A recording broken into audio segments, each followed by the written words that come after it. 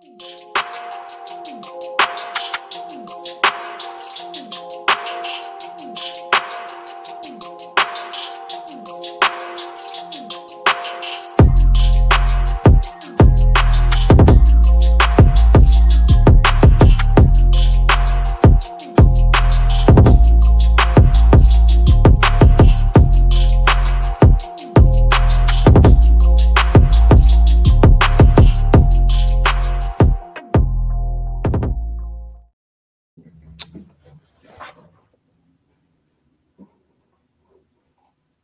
Good evening and welcome to the Seth Joyner Show.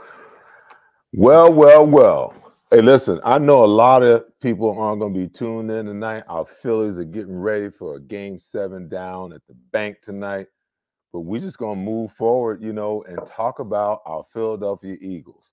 Before we jump into the Eagles, though, let's kind of have a little chat about, um, you know, what's transpiring.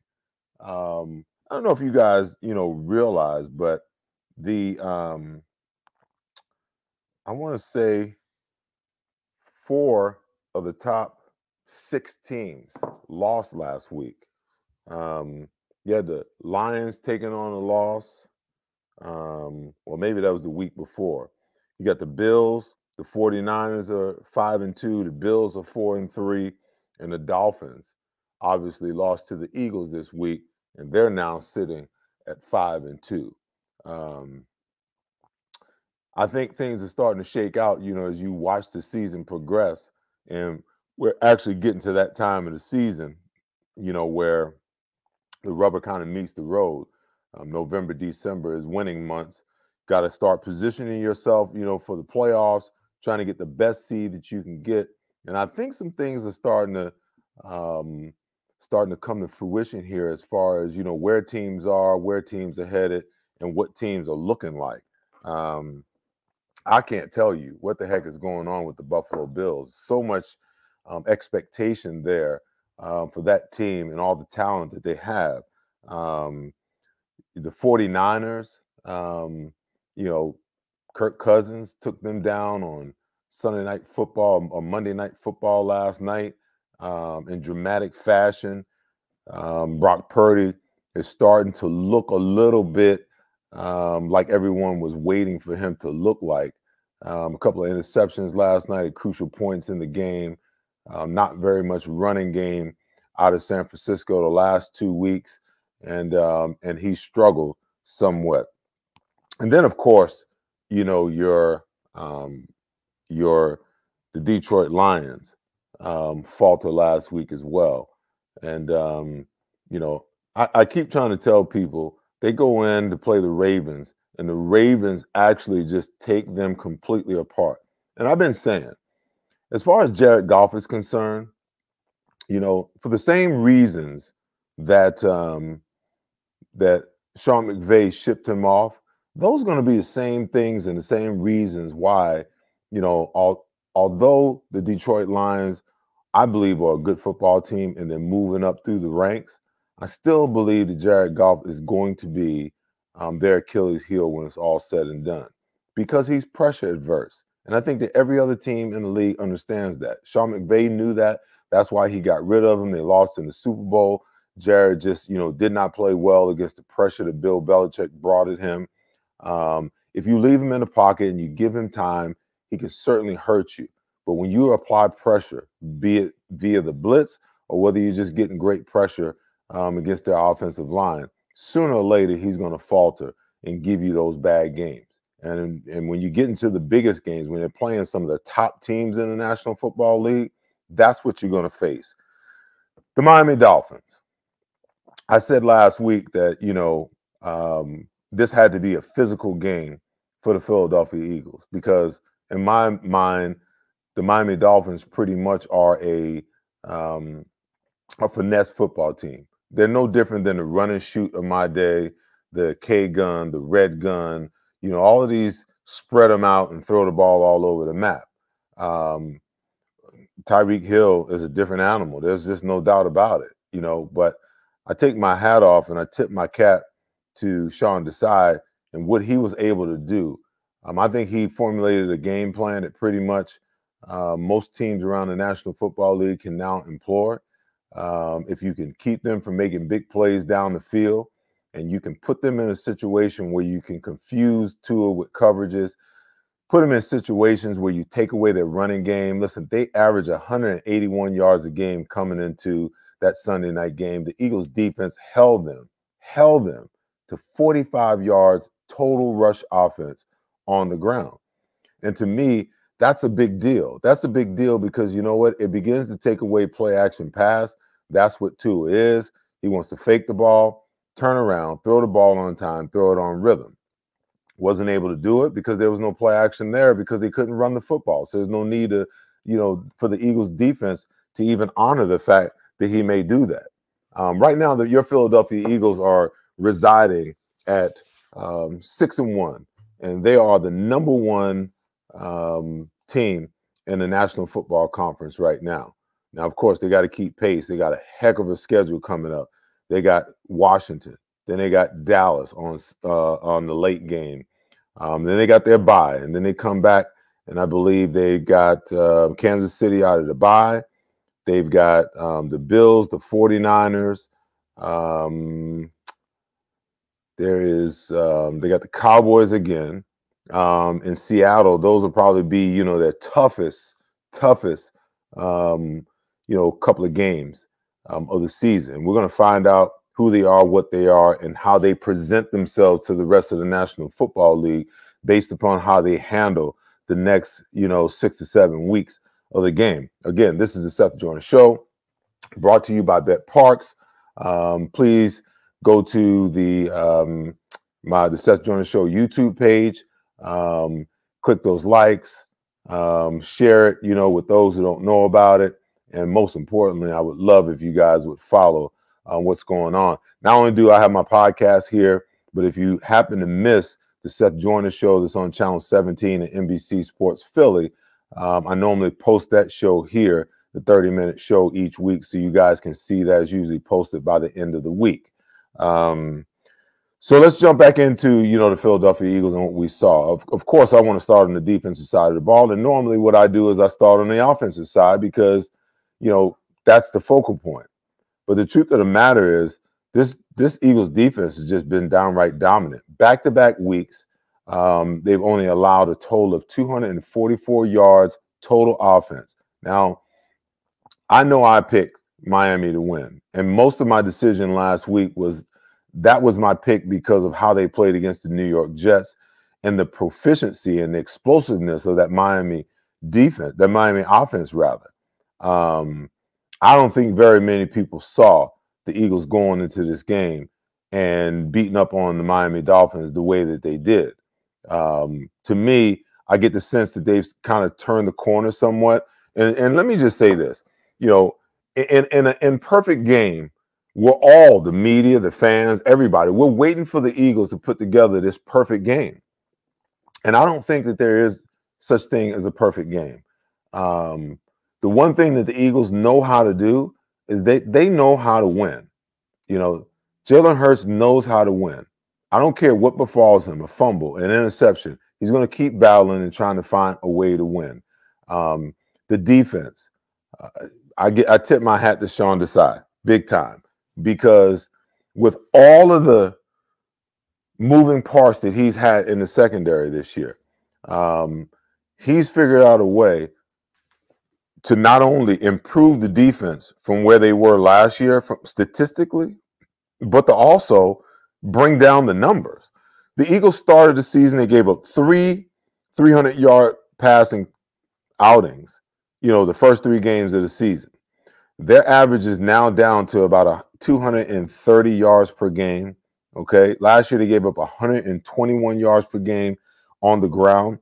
They're averaging somewhere in the 155 to 160, you know, range. I mean, 60, 55 to 60 yards per game average is what they're averaging, what they're giving up right now. Now, when you can dominate the line of scrimmage the way that they've dominated the line of scrimmage, kudos to you know, um, all those guys up front, led by the leader, Fletcher Cox, you know, no doubt about it. Jalen Carter is the talk du jour.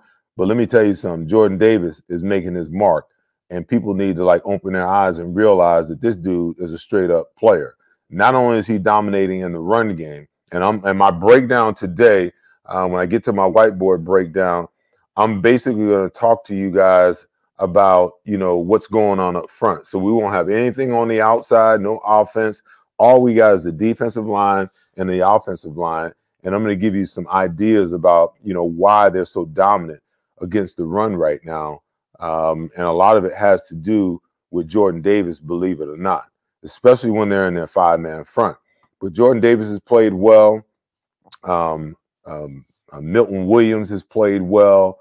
Um, when Tuipulotu is healthy, he's played extremely well. And the most exciting part, the most exciting part is the fact that, you know, the defensive ends, both Haason Reddick and Josh Sweat, are now turning up the the the the, the pressure, no doubt about it.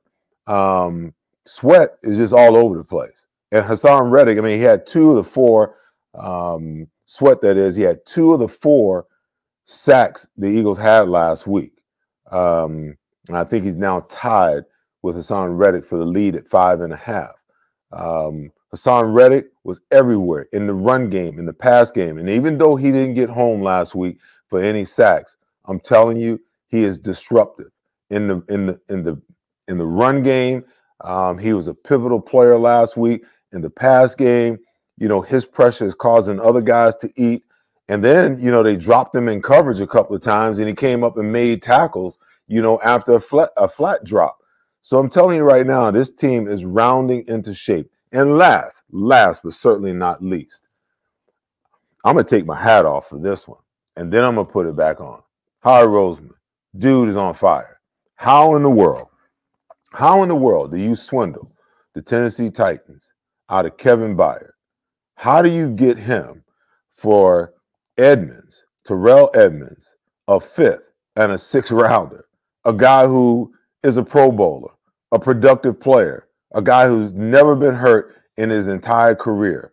Now, Philadelphia Eagle, he gives us depth now. Can you imagine what that what that safety position is going to look like with Reed Blankenship on one side and Kevin Byard on the other side? Uh, this move is just phenomenal.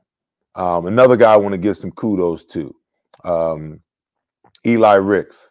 Eli Ricks, when given the opportunity last week, stepped up big time. When I say big time, I mean big time. He got up on Tyreek Hill, jammed him, ran with him, challenged him, hit him so much more so than um, um, than Bradberry and Slay. And you know, that's just phenomenal to me that a young guy, maybe he doesn't know any better, and maybe he plays with no fear. But it seemed like the corners on the outside were just trying to keep um, Tyreek Hill in front of him, like most teams do, rather than challenging him. Um, he put his pants on just like anybody else. I said it last week. A lot of people didn't agree with me. Um, in the pregame and postgame, me and Derrick Gunn kind of got into it a little, a, a little bit you know, he kept talking about how prolific um, of a player Tyreek Hill is. Listen, you know, as, as much as the game has changed, there's some components about the game that are the same. Um, I wanted to see somebody lay some wood on him because you see him, if he doesn't think he can run by you, he'll run out of bounds because he doesn't want to get hit. So somebody needs to lay some wood on him. That'll slow him down. But Eli Ricks, man, I think that, you know, with the Byard acquisition and Eli Ricks, stepping up against one of the best wide receivers in the National Football League. They not only have depth um, once they get Bradley Roby back and healthy, but they've got a guy in Eli Ricks that I think you can you can move around if need be. If you got an injury at cornerback, you can play him there. If you got an injury in the slot, you can play him there. Um, I was very impressed by what I saw from him when he finally got his chance to get on the field and show what he could do. Josiah Scott, another guy off someone's practice squad right into the starting role in the slot last week, and we didn't hear his name. Now, a lot of people will say, well, what did he do? If you don't hear his name, he didn't do anything.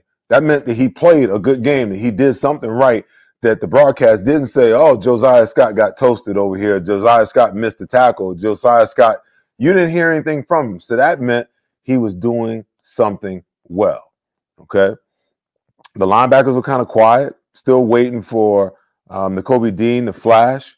Um, really didn't see a whole lot. I saw Zach Cunningham got beat.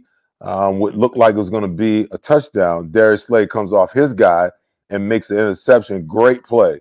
Great play by Slay um, to have the awareness. I don't know what the route was and why you had two guys in the same area like that. Because if Slay's guy goes to the post, that's a touchdown.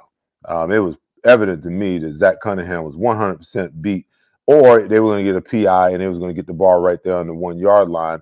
Game changing play by Darius Slay. All right, so let's jump over on the offensive side of the ball. Um, I, I, I don't know what's going on with Jalen Hurts. I'm not sure. Um, but and I don't, you know, I, I, I what I want to see him do is play the game from the pocket. Um, I think that the protection could be better, and I'm never going to move off the the belief that we've had we have the best um, offensive line in the Nas- National Football League. And I don't know, you know, Lane Johnson, I believe, gave up his first sack in the last two years last week um, to the Phillips kid. But you know, I'm going to chalk that up to a bad ankle, and him not being able to to plant or or you know get back down inside. Um, but I kind of feel like Jordan Mailata is getting pushed back a little bit. I, I just get the sense that you know the offensive line needs to up their their intensity a little bit when it comes to the pass rush because when I'm looking at Jalen, he looks uncomfortable. He looks um, rushed at times, happy feet. You know, last year he was really successful because, you know, he could stand in the pocket or sure that he was going to have time to get the ball down the field. Um, a lot of people say, hey, you know, the sack that he took held on to the ball too long. The interception, just, you know, a, a, bad throw. But I I, I kind of get the sense that you know he's he's not himself right now. Um, he's not 100% health wise. I think that's got something to do with it. Um, but if they're going to throw the ball, I just think that the offensive line has got to be just a smidge more solid than what they've been. Um, they're good. They're great. Um, not taking anything away from them, just an observation. Um, AJ Brown is an absolute beast um, I'm trying to figure out, you know, why teams aren't doubling this guy and making the Eagles beat them with someone else, with DeVonta Smith, who struggled a little bit, had another drop the other night. Dallas Goedert, five targets, five catches, 77 yards, and a touchdown. He's starting to show up a little more, um, you know, in the offense. But I think in order for this offense to really be um, what it truly can be, um, DeVonta Smith, and I believe he will, needs to find um, his rhythm. Um, you know, because he's a big piece of the puzzle and he's too good not to be. He needs to find his rhythm in his offense, and they got to get him going again. Um, and of course, we got to figure out how to get some production, um, you know, out of the slot position. Al- Olamide Zaccheaus, you know, is not giving us a whole lot right now. Um, I don't know that they're asking him for a whole lot. I think he was targeted one time and Hurts threw him a bad ball. He wasn't able to bring it on. Um, Julio Jones had one catch, um, still getting himself familiar with the offense. Um, but I think slowly but surely, the offense is rounding the shape. We are balanced, run the pass last week. That's why I believe that you know the offense had um, such success, and they, in my opinion, they got to continue to do that. Um, what else? The running backs, you know, wasn't spectacular, but you know, like I said, they were committed to the run. I mean, they only averaged 2.9 yards a carry, but they ran the ball, I believe, 33 times, you know, for 99 yards. That's enough to keep defenses honest, in my opinion.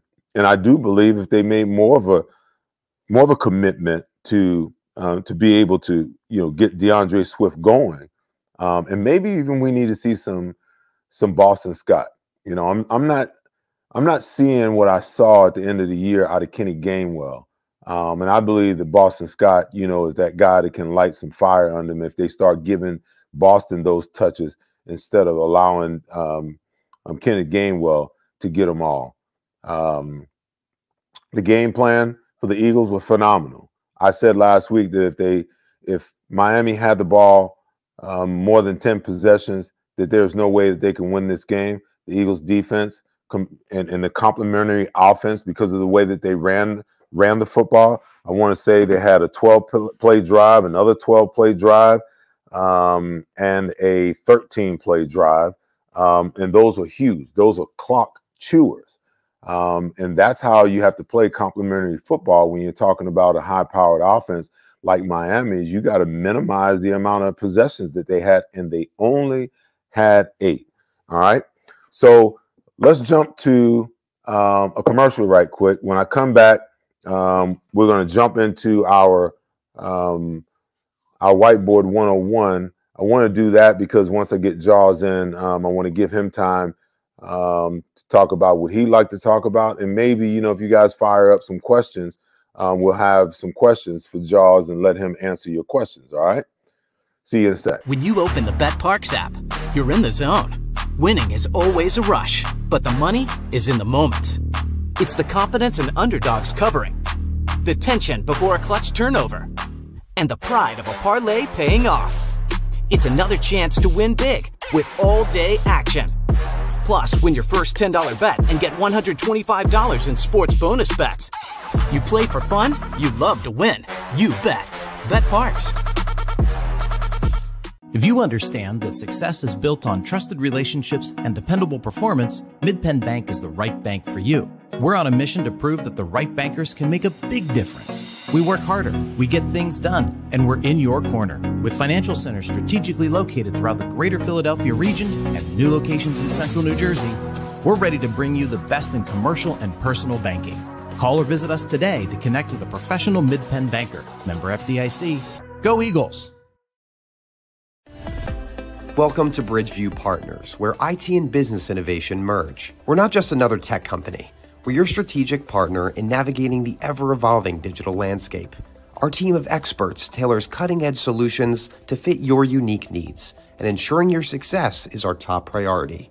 Elevate your business with Bridgeview Partners. Discover the power of partnership and tech innovation today. Contact us now to experience the difference. Bridgeview Partners, where innovation meets excellence. All right, welcome back, guys. Um, again, this is the Seth Joyner Show the video cast podcast brought to you by BetParx. Um, so in our breakdown today, I think one of the um, you know, someone on social media asked me today would I do a breakdown um, of why the Eagles have been so good against the run. Um, and I'm going to give you two examples tonight. One of them is going to be out of a four man front, one's out of five man front. And let's start with the five man front. Okay. So you got a defensive end, a defensive end. You got um, Jordan Davis um, on the nose. Um, Fletcher Cox usually plays out here on a three, even though it's, it's flipped over. He usually plays on the left side. But I'm going to put, you know, put a tackle here, and let's just say um, that we've got, you know, one of the other defensive tackles there. And if you got two linebackers in, on on the field, sometimes in their five men they'll go two linebackers. You know, other times, you know, they'll go one linebacker um, and drop a safety in late. But let's just give you the two linebacker look um, to begin with. Okay. Um, let's put the quarterback under center back here, and let's go with a strong side run. Quarterback reverses out, hands the ball here, and if they're going to zone it, more times than not, you're going to get a cut off here. He's going to try to cut off um, or they'll they'll try to double, try to cut off here. Okay, um, work to get front side here with a double team, and then work up to the backer. Okay. But what Jordan Davis is doing, he's stuffing this guy right here so much, and he's pushing him in the backfield, which actually means that there's no cutback no cutback for this run at all because he's cutting the field in half. So this play, nine times out of 10, it has to stay front side. Okay. So this linebacker thing he's got to do is he's got to get front side in this gap. So this guy's going to work to the outside shoulder and then try to cut him off, but he's got to rip outside. So now you see everybody's got a gap, contain, got a gap. You know, he's going to double team and push. Okay. So this linebacker, as he flows, he's got to check this A gap, first of all, and then he's a free hitter to the ball. Now, whether it's Fletcher Cox or whether it's um, Jordan Davis, they've been stout right here. The problem is they're not pushing the line at all. They're not getting any movement, you know. And really, when you run the ball, it's really about movement. You hold the edge here, so anything that bounces outside, you're there for it. Um, and this is in their five man front how they are actually keeping um, teams' run games under control. Okay, so let's click out of it and let's put the, the tight end over here this time. Okay, and give you I'll give you your four man look. So here's your in, your in. Fletcher is usually lined up in a three. Jordan Davis is usually lined up in a one or two. Okay, and then you got a linebacker and a linebacker. Okay, so let's let's go again with the strong side run. Here's your quarterback. Okay, quarterback reverses out, hands the ball here. So now you can see the double, the double double team in this scenario because these two guys, he's got contained, he's got to stay outside. So now you got a double team that is working. This guy's going to try to work face up. He's going to clip the outside shoulder and work up next level. This linebacker's got to rip and get into um, this C gap right here. Now you got the same thing here. He's going to work to get flush up on this defensive tackle. He's going to clip the shoulder, and then he's got to work a gap to flow. All right. Now he's got to stay backside. So where's the cutback? If you don't get the push, and this guy cuts it back, here's the cutback. That's the home run lane. This is where the safety is responsible for anything that comes here. But again, you got Jordan Davis here that's pushing so hard, and he's causing this guy really not to even get up to the next level of the linebacker. So what, what winds up happening again, stalemate right here.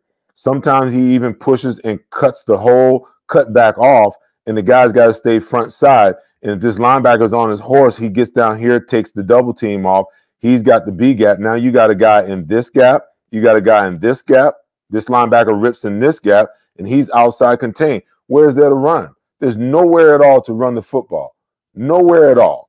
Um, so now you can understand why this defense, and I'm not sure, but they've got to be ranked either first or second in the NFL in run defense. And I think they're somewhere around 50 to 60 yards yards per game um, is what they're giving up. That's a massive change because last year they gave up 121 yards per game rushing the football.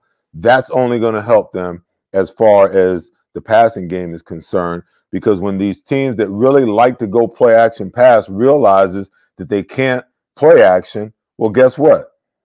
They just go to straight drop back. Now i can just tell my defensive lineman hey pin your ears back let's go get them because they can't run they know they can't run and we know that they can't run so let's just go get the quarterback all right that's our one-on-one breakdown for the day Got my man Jaws in with me tonight. Jaws, what's happening? Seth, Seth, great to be with you. I got to tell you, I don't know why you waste all that time trying to gain four or five yards, man. Drop back and throw it. See, man, there you go. spoken, spoken like a true quarterback. Yeah, so, right. Jaws, listen, listen. um, I heard that you know Howard Eskin was a little disrespectful to me today on WIP, and I got a little something for him later on. But you know, I researched this stat, and you know, the top teams in the NFL right now, the teams with the best record, they all reside in the top 12 of rushing in the National Football League this year. Okay. Conversely, the top three teams in running the football in the National Football League are the Miami Dolphins, the Philadelphia Eagles, and the San Francisco 49ers. They rank one, two, and three. And in my opinion, you know, you got to bring Kansas City into you know th- th- those those four teams that are the four top teams in the league. Now you played in an era where you know it was no doubt about it. You were going to run the football, and then you were going to um, you know you were going to pass off the run. The run was going to set up the pass. And I get it; it's a new age. But I kind of get the sense that you know when I'm watching um, today's NFL, that you know we're kind of reverting back to a little more of the run game, specifically teams who have quarterbacks that are still developing. Your thoughts? Yeah, it, so it depends when you run the football. I, have always believed. You know, I, I think of coaches I played for, like you know Chuck Knox, Buddy Ryan, Dick Vermeil, Don Shula, Marty Schottenheimer. Those are coaches that have won close to a thousand games. Think of that, Seth. Coaches that have won over close to a thousand games. So they kind of know what they're doing. And none of those coaches were ever kind of like, hey, let's just let's just drop back and throw the ball around. And I think they all understood. And, and I learned, you know, we learned from our coaches and how they taught the game. And there's a, the game of football is a violent, physical game. And if you lose that part of your game, it's hard to win championships. You may be successful over a short period of time. You'll be successful over a long period of time. But I don't think you're going to win a championship by being a one dimensional football team. So I, have always believed you have to run the football to be physical. And that sets a, that sets, sets a tempo for what we like to call explosive plays. You know, you played on the opposite side of the ball. You're on defense. And you know, once your linebackers start cheating up, you know, when those safeties start cheating up and you stick that ball out and pull it back in, that's when you get these the big explosive plays. So I think you run the football to, to develop an identity, a physical identity, a dominating identity that, hey, we're going to run the ball no matter what you think we're going to do. We can run it if we want to. When those safeties start cheating up, Linebackers start peeking in the backfield. They're hitting the run. Now you get the wheel routes. Now you get those man-to-man wheel routes. You get the big explosive plays on the middle of the field. It all comes off being set up by the running game and the physical nature of the game. It is, in your opinion, is it the is it the analytics of today? Is it the fact that you know you're paying your quarterbacks on average about fifty million dollars a year? How much? That you know the, the, yeah, we're gonna send you back to the future, Jaws. I, I, would like to go back to the future myself. I'll just throw a little side note in since we got up on salaries here. We talk quarterbacks, to talk money, right? So in 1980, after we go to the Super Bowl, I'm the league MVP. I get a new contract, two million dollars over five years, four hundred thousand a year. Seth, I was the highest paid player in the NFL. Right behind my, my wall my office, there's, there's a, an article Jaws, highest paid player in the NFL, 400,000. That's tip money now. Listen, I, I, you, you're preaching to the choir. You know, if I tell you what I made my first two years, I signed a two year deal, eighth round draft pick. I made 55 and 66 thousand my my my first two years in the league with a fifteen thousand dollars signing bonus. Man, so I, you're, you're, big time though. you're, you're preaching to the choir, and I, I really thought I had some cake, man. But I'm just, I'm thinking, you know, uh, what you say make, makes a whole lot of sense to me. But it seems to me that you know a lot of these teams today, they are so hell bent on just throwing the football without setting it up. You know, they just want to pass it, and then there, there's this adage out there that you throw the ball often and early to get a lead and then you run your ball in four minute offense. The 97, the Cowboys in the 90s, that's what they did. They they threw the ball early. It wasn't Emmitt Smith grinding it out early in the game. He put the game away. They were a play action passing team early. They knew Emmitt was going to get the ball eventually, but their whole idea was let's play with a lead. And it also helps the defense. When you're, hey, you know, you've done better, but better than anybody. You're up 14 nothing, hey, bring it on. I, you're not playing run anymore. You're, you're playing pass. You can now play all the games you want to do with a, a lead. So, you know, in, in, the 90s, that philosophy worked. It, it I don't think it works as to, as much in today's game, but I still think it was a very valuable way to do to run an offense and a team. Yeah, but there's a lot of teams that still do it, Jaws. Like I mean, the Eagles went into the Jets game, and you know, um, you know, you, you I was flabbergasted that you against the 29th ranked run defense in the National Football League, they came out and called 51 call running plays versus 18 called um, run plays. And really, um, the running backs only touched the ball um, four times, 14 times, because four of those were, were Jalen Hurts run. Um, and I see teams all the time, they fall in love with the run and, and it works. I get it. You know, there's no foolproof way of doing this because sometimes you can come out and run the ball to set up the pass. But there's other times where it's to your greatest advantage to come out and run the football. It brings play action, play action passing yeah. alive and everything else. Um, why not do it that way, especially for a young quarterback? You ask a young quarterback to drop back 40 times in a game, you're asking for trouble. Oh, you're going to make all kinds of mistakes. And, and defenses, in, in you know, today, right now, what you're seeing, there's no more base defense. There's no more 4 3. Everything's, you know, multiple defensive backs on the field. So you why would you want to invite that? To me, that plays to defense. I still kind of like base formations. I still like to have the a tight end next to my tackle. I still like to have a back next to my other tackle. So there's always an option for protection. And oh, by the way, what I saw the other night when I went through the tape, which I watched my game tape right here, Vic Fangio, I, I watched what he did to Jalen Hurts. I wanted to, Vic, you know, Vic Fangio was here last year in Philadelphia as the mm-hmm. quote unquote consultant for the Eagles. Now he's the defensive coordinator for the Miami Dolphins. I wanted to see how he was going to play Jalen Hurts because who would know better? The guy that was the consultant for the Eagles that was with him every day that watched other teams do to try to stop him. So what he did, I you, the minute the Eagles went to zero, an empty empty set, he blitzed. He didn't blitz. He didn't. He, he blitzed 41% in the game, which is a pretty high number of blitzes. But I, I'm looking for a tell on what Vic Fangio was thinking about Jalen Hurts. He got after him with pressure. When there were no backs in the backfield, he attacked him with the pass. So, I, and and all season long, the one thing we've been seeing with Jalen, because of you know the, when the Eagles do get pass happy at times, I think they forget about the run. They forget about the running back. Although I would find a way to get there, slip the ball 20 times a game. But when it showed me that I think Vic in the back of his mind said, you know what we got to do? We've got to rattle Jalen Hurts. And, and Jalen, as his example, last week against the Jets, when Lane Johnson went out and Driscoll came in, there was quick pressure on that right side. Jalen became a little antsy in the pocket when he didn't have that comfortable pocket, that nice cushion to plant, step and throw. So I think Team C, if you can get pressure on Jalen, you could break him down a little bit early in his in his development as far as the pass read goes. Jaws, I know that you know pressure on quarterbacks is is their you know kryptonite to Superman yep. anyway. You know, so that's why you know you hear me talk about you know pressure, pressure, pressure, and I think some people believe that I just want to blitz all the time. But I understand what pressure does um, to quarterbacks. It speeds up their thinking, it speeds up their processing, it speeds up their decision making, which which causes you know mistakes.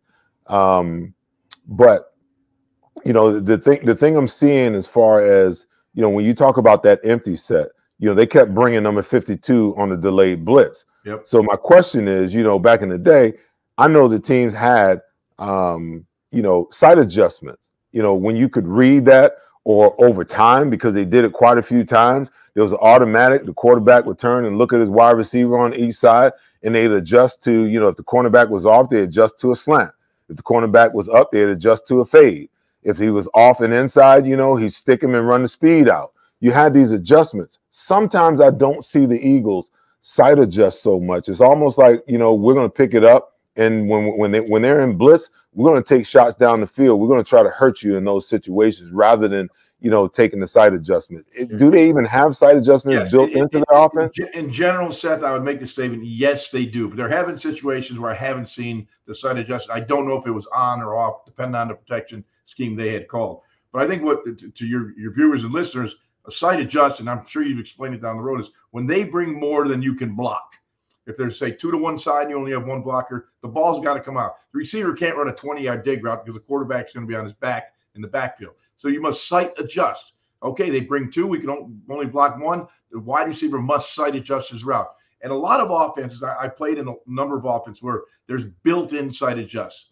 It may not be the sight adjust to the side of the hot, but you would throw it backside knowing that you're not going to have time to throw the football. The minute that back foot hits, it's got to come out. And that's that's where some quarterbacks get caught. They're not aware the hot has got to happen quicker. It's called hot for a reason. You guys on defense want to heat the quarterback up. So you better get the ball out of your hand or you're going to get heated up. Jaws, listen, I um so you know, in, in, an imperfect game in football is definitely an imperfect game. Um, I said it, you know, in my open, opening monologue. I think that, you know, we as fans and the media and whatnot, we want to see the Eagles play this perfect game. But the game is imperfect because you got opposition on the other side. They get paid just like us, you know, to be able to stop you. And and sometimes you can have the best play called, you know, and they figure out a way, you know, to to to to to stalemate or to stop it. Um, I get the sense that the Philadelphia Eagles on offense are rounding into shape, and I'm kind of, you know, it's hindsight now. You know, the best thing that could have happened is the loss to the Jets, and the best thing that could have happened for this team, in my opinion, was the struggles throughout the first half of the season. But I get the sense that they're in a place now where, um, you know, Nick and and and Brian Johnson are figuring and understanding how important the run game is. You know, they only had 99 yards on the ground, even though they rushed it for over 30 times last week for 2.9 yards per carry. But it's important um, for the offense, for the defense, rather, to believe that you might still run the football um, just to keep them honest. Um, but I get the sense that they're starting to round into shape. AJ Brown is unstoppable. I get it, but they got to figure out a way to get Deon- De- De- DeVonta Smith, you know, get him going, and even Dallas Goedert's numbers. You know, he had five targets last week, hey, let's seven, get seven yards. Julio Jones, you know, like, come on, are Yep. you kidding me? Get the ball to DeVonta Smith, you nail it. Get it to Dallas Goedert. But the, the, in, in talking in a general term about the team, the one thing I am concerned at, the their ball security has not been good. They're just averaging under two turnovers a game. You know, they're winning games that they're going to lose down the road against a quality football team. So they learn got to learn how to take care of the football. Now, some of that is Jalen. Some of it's been some bad luck, batted balls, a tip ball, ball knocked out of his hand. Those things do happen, but I think ball security is definitely number one. And and I I, I said this Sunday night. I think the Super Bowl this year will be the Miami Dolphins against the Philadelphia Eagles. Mm. When, when these two teams, uh, look at, you know, we okay, we beat Miami. Both their corners are out. Jalen Ramsey, Xavier Howard, we're both both out of that game. Those are two shutdown corners. So that okay, we beat them, but they'll be back. Their left side of their offensive line, left tackle, left guard, and the center, we're all out. I want to see the Miami Dolphins with their full complement of players against the Eagles' full complement of players. Now that we have, you know, the, the addition of Byard coming in safety, And what a difference it was with with Slay being healthy the other night. So I, I think that the two best rosters when healthy are the Dolphins and the Eagles. Hmm. That that would be a heck of a matchup. I can tell you that. There's no doubt. There's there's no doubt about it. And you know, um, when they get that other running back that they've got down there in Miami back, Mike I'm not so yeah. sure that he's. Yeah, I'm not so sure that he's not better than than Mostert. I think he is. I think uh, it, it- I, I tell you, watch, that. You know, when you watch these this Dolphin team, I mean, they are fast. I mean, every one of those guys can fly. And Tua, I was impressed with Tua. He made he made a bonehead play on the interception. You know, late in the game, I don't know where he was throwing the ball. He had no right throwing it there. But for the most part, he was quick. He was decisive. When I studied the tape of him, you know, going into the game, I mean, the guy gets the ball out of his hand. He's hard to sack, and he's been throwing with accuracy. So I, you know, he's definitely matured. And at offense, they McDaniel run is pretty crazy. They do some wild stuff, but at the end of the day, you as a defensive guy know. And I think what I'm seeing the evolution of what defenses do, they're not getting caught up in all the motion and all the Mhm. shifts. They're basically staying home and just sliding around, sliding around, making sure that they've got every area of the field covered. You'd be a lot better at breaking down that defensive scheme, but they're not getting caught, you know, making all these calls when there's a shift, making all these calls in motion. It's pretty basic. Stay at home, maintain your area on the field. Well, Jaws, I tell people all the time, you know, one of the things that gets most defensive players beat when they're playing in the game is eye discipline. Like if I'm lined up and I'm off the ball, I'm reading through an uncovered lineman to the quarterback to the back. Um, when you start getting all that motion that's going all over the place, all of a sudden, you know, your eyes get a little undisciplined. You start looking at the motion, and all of a sudden, you can't. yeah, yeah. I mean that that's really what it is. I mean, it's hard to train defensive players to keep their focus right there. You know, it takes time. You know, especially for young players to understand that you know if that motion doesn't affect you, there's no reason for you to look at it. Stay locked in. You know, on your key. Your key is going to tell you what's going on. Now, I you watched the game the other night. You know, Eli Ricks is a guy who's been, you know, kind of hadn't gotten a whole lot of playing time. I thought he played phenomenal last last last week. Um, a couple of times he got up um, on Tyreek Hill and gave him the business, you know, where our starting cornerback seemed like they didn't want any all day long. And I don't know whether they have the option to get up or get back or whether they're told to play a certain way or not. But Eli Ricks, man, he, he Jaws, he looked like he didn't have much fear in him. Well, I, I thought that secondary as a whole had a, had a tremendous game. I mean, I I, I thought they I thought they played great because you know, and a Waddle gets hurt, it takes a little bit away from you know what Miami has as far as firepower. But man, some of those young guys did not have a whole lot of snaps. You know, I mean, look at look at what they had to do. Sydney Brown has come in there. Guy was inactive for a couple weeks. He came in, he's flying around the field. You know, he's making he's making plays. I, I didn't expect fifty some plays out of him. That's what he played, and he, and you know he didn't embarrass himself. You know, he did a damn good job. You're playing against a Miami team that is you know averaging just under 500 yards a game. You know, I'd have brown stains in my pants if I was in that secondary. You know, it, it's it's tough covering that group. They did a hell of a job. But let, hey, you know, you know where the rubber meets the road, Seth. Oh yeah. Pass Oh yeah. rush pressure.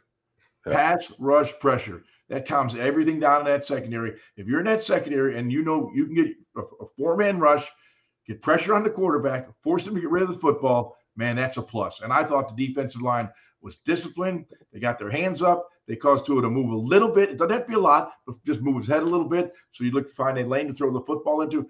I thought the pass rush was really, really good. And they didn't have to blitz. They only blitzed four times in the game. So there wasn't a whole lot of blitzing going on. I'm all over the place. I, I thought the side did a good job. All right.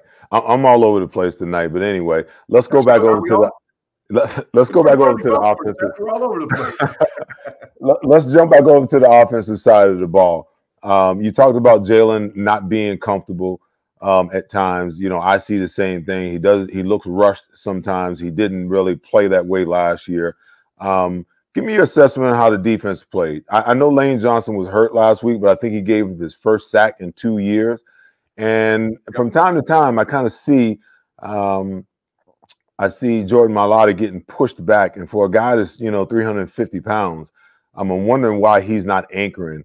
A lot of players are beginning because they can't get around him, are beginning to um, you know power rush him, and it just doesn't make a whole bunch of sense to me.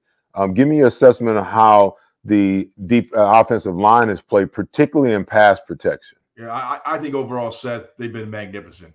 Um, I, I, really do. I Mailata yeah, he, he may give up a little bit of movement, but he, has been rock solid. In fact, if, if, you probably he had a poor game against New England, as did Lane Johnson that game. They opened up the season with, poor games, but I think since then they have been rock solid. Now, obviously, when Driscoll comes in for Lane, there's a, there's a significant drop off because you're going from a guy that is likely to be an NFL Hall of Famer five years after his retirement. And Then you go up, you kind of a journeyman guy in Driscoll. So it's a lot to ask of a guy. However, that being said, they got to help Driscoll when he's out there. Put a put a back on that side to chip put a tight end over there to take a little heat so you can't get that wide rush uh, on Jalen. So there are things they can do offensively, and I think the offensive coordination has been good this year. I, I sometimes get caught up with the play calling, but don't we all? Uh, but I, I, think overall the offensive line has been really, really good. Opeta stepped in; he's done a really good job. Landon Dickerson, I watch, I love watching him. I mean, he just he balls people. I mean, he just he got those big old broad shoulders, and, and that center might get that prop block standing up that nose tackle, and man, he will come down and crack three ribs. You know, I mean that, that that's how he comes after people. So he's kind of that maul on the offensive line. But this offensive line, and I've said it after I think after the second or third game this year, when I saw Lane coming getting better and all that and healthier, I said, man, this is the best offensive line in football. And I'm saying that bar none. This is one hell of an offensive line. And you got to throw Dallas Goedert in there as well because I always count that tight end as part of the offensive line. Mm-hmm. Now, it's a good thing we got a good blocking offensive line because our backs, when they're asked to block, are very mediocre.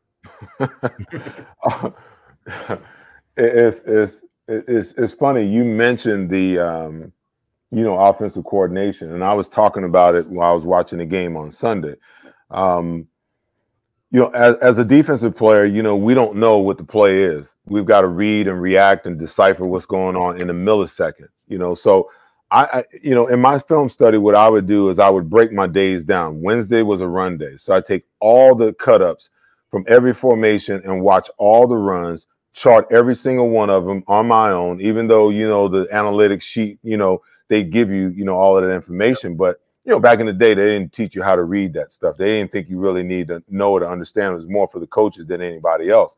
But I would chart all of that stuff. And then on, on, um, on when, on Thursday, that was my pass day. I would go in and I watch all the pass cutups from every formation, every single play, and I chart every single one of them.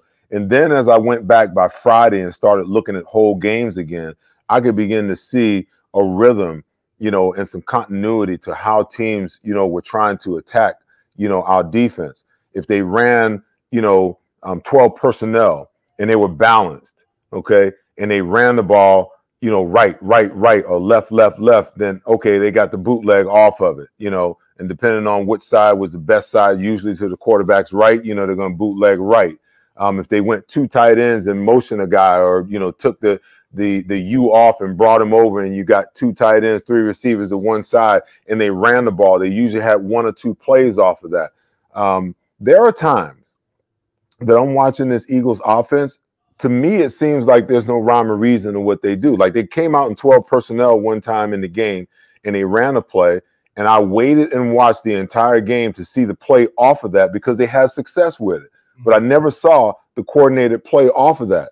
Um, your eye is different from mine. You know, you see things, you know, as a quarterback, a heck of a lot different than I do.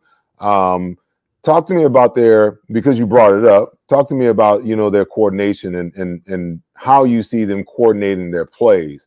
Because sometimes they they look to me like it's just schoolyard, man. They're just drawing it up in the dirt, and we're better than you, and we're just gonna beat you with our with our ability.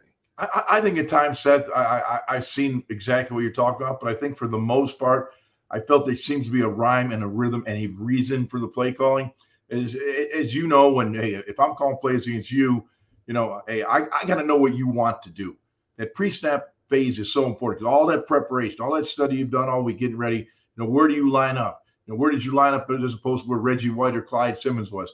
Those things are all important. So we, we talk too much about analytics. To me, analytics are about the past and the history. And, and that's that kind of bothers me because those guys that were the past and the history had nothing to do with me. So I'd like to sit to look at the team I'm going to play. What do they want to do against us? And we form, would formulate our game plan against them. And I think that's the analytics to me that, that I always felt was most successful. Not you know some guys at the, the Harvard Business School are breaking down position on the field and all that. that, that that's those are guys that played the game before. You know, what about the I'm playing Seth Joyner. I'm worried about this sucker. I don't want him on the open side. I'm going to check it a tight end over on his side because I don't want to give him free running anybody. So, you know, the analytics is your preparation. Like you said, you would study your game plan. You would study your cutups, you know, and maybe for the maybe for the our, our, our viewers and listeners, cutups are I just I the, the most important down to me is third down. I would study the hell out of third and seven to ten because I knew in that situation that's around that's they, they're going to try to heat me up. So I thought that was the best situation where I had to spend spend all my time.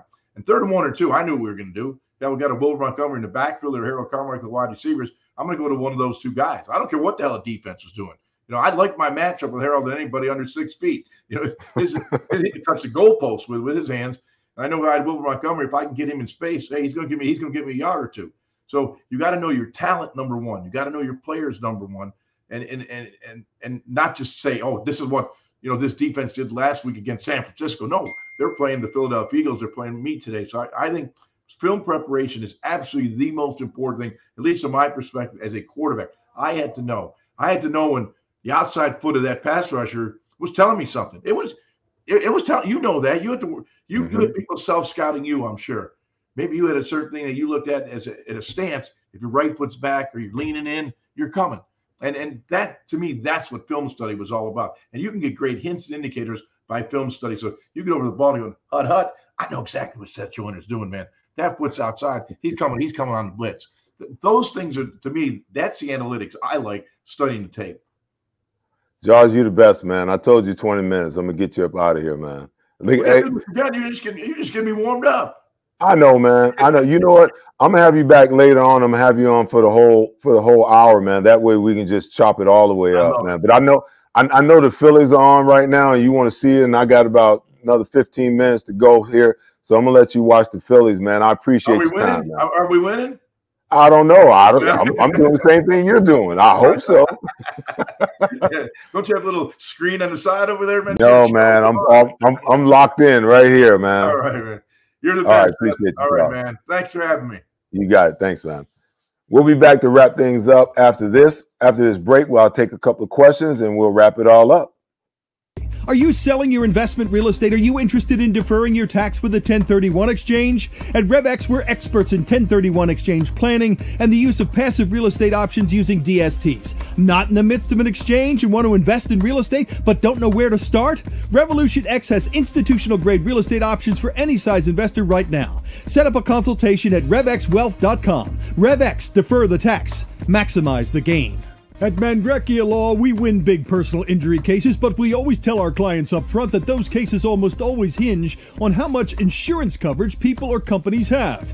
At Mandrecchia Law, we don't sell insurance, but we're experts at helping our clients make sure they have the right insurance to protect their businesses and families. Do you have the right insurance? Most people don't.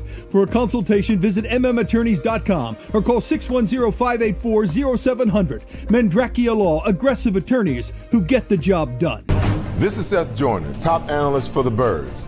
I've also analyzed the best auto dealerships, and I drive a Davis Honda. Fall into savings at Davis Honda. Over 300 cars available. And right now, get rates as low as 0.9% at Davis Honda in Burlington. Plus, you'll get two years of free oil changes on every new and used Davis Honda vehicle. See why Davis Honda continues to win outstanding awards for sales and service, including the highest award from Honda, the President's Award. Get to Davis Honda in Burlington. Fall into savings at Davis Honda. JP Mascaro and Sons is a family-owned, locally operated operated solid waste service company in business for over 60 years. You've seen the red trucks with the blue elephant that symbolizes strength and reliability. Mascaro is different than other national brands. Like the birds, Philadelphia is home. They'll take care of all your waste removal needs. They have it all an experienced workforce, state of the art equipment, a cutting edge recycling center, and their own disposal facilities. Call 888 Mascaro or visit jpmascaro.com.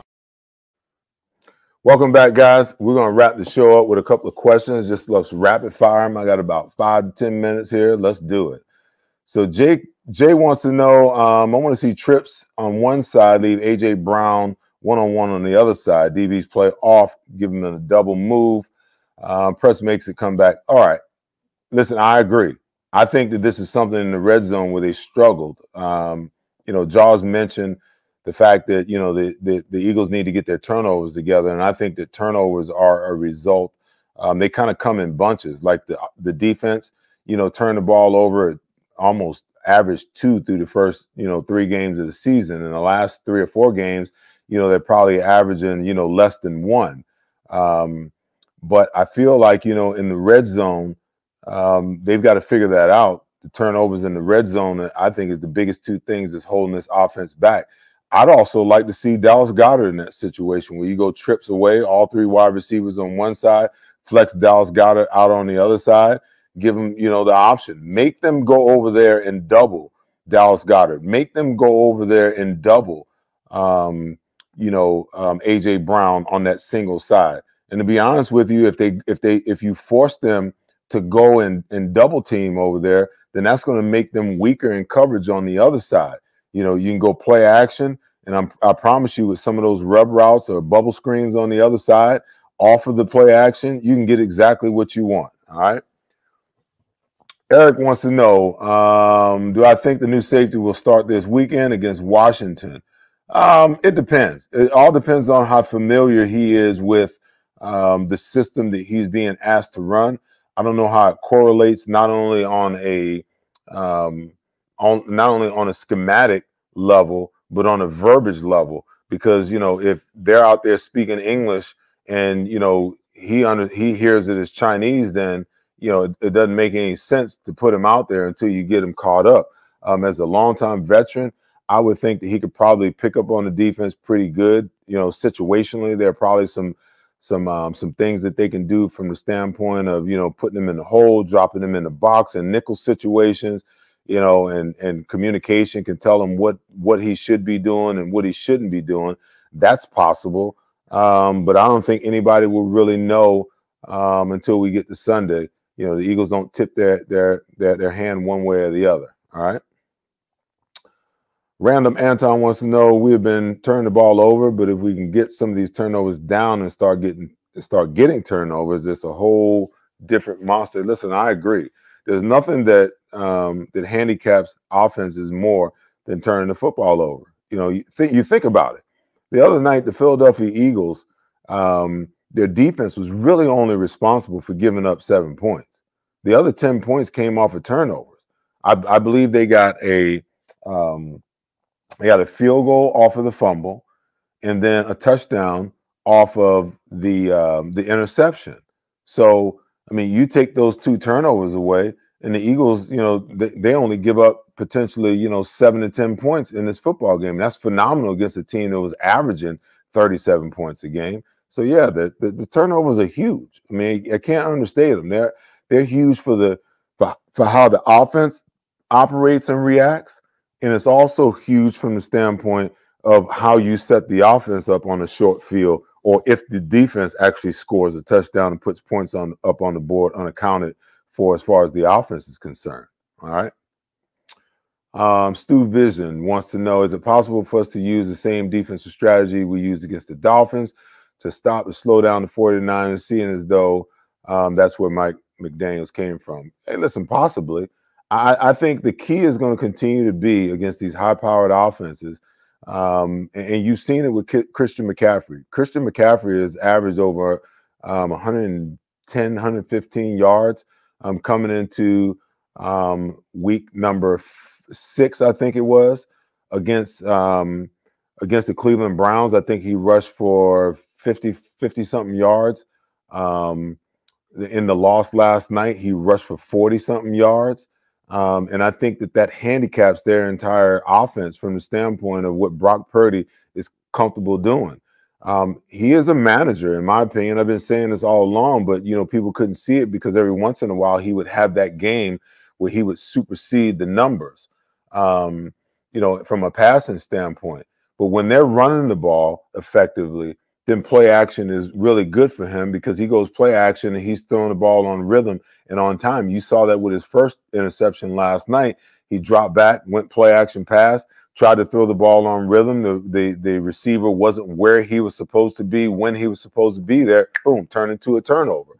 Um, so absolutely, they can use some of this, and and and obviously being more aggressive at the line of scrimmage with these wide receivers from time to time, because when you when you force the release or you alter their route, that alters the timing of the route and it stops receivers from being able to hit their mark when they want to hit them and it stops quarterbacks from being able to throw with anticipation. All right. Last question of the night goes to Michael. Michael wants to know with the acquisition of Kevin, Kevin Byard, do you see the Eagles making any more moves at the trade deadline? Why not? You know, uh, Howie is just, you know, is just pillaging the league, you know, with these moves for, you know, um, unuseful players on our roster as long as well as um, these draft picks that we have um, that are compensatory picks or extra picks that we had, you know, through other deals that have been made.